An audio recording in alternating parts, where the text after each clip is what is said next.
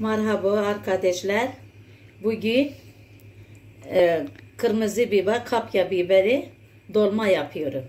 Dolma pirinç yoktur. Sadece et var. Yarım kilo kıyma, iki tane soğan, iç diş sarımsak, yarım kilo kırmızı, kapya biber, közledim biber.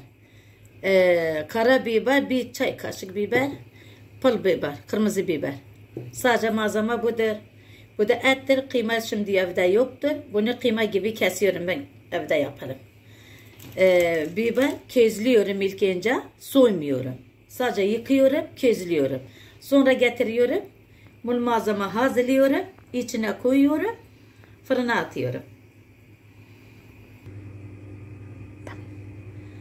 Arkadaşlar hazırladım. Kıymamı hazırladım. Sonraki malzeme e, köz biber de hazırladım. Kapya biber közledim, hazırladım.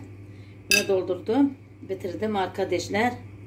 Biraz daha koyayım da doldurayım. Daha güzel oluyor. İnan ki o kadar güzel de.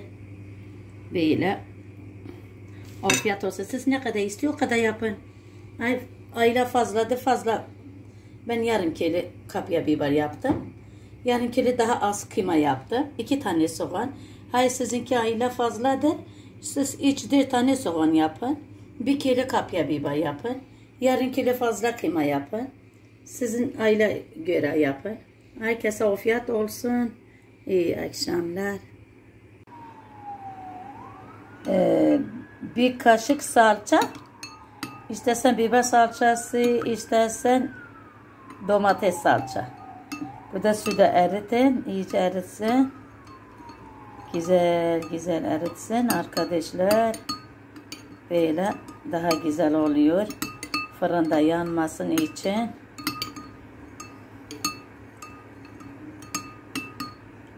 Böyle fazla sıvı değil.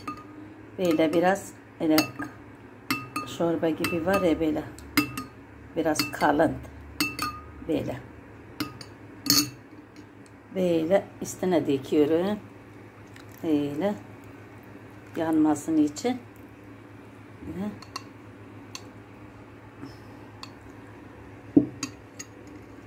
Şimdi fırına atıyorum.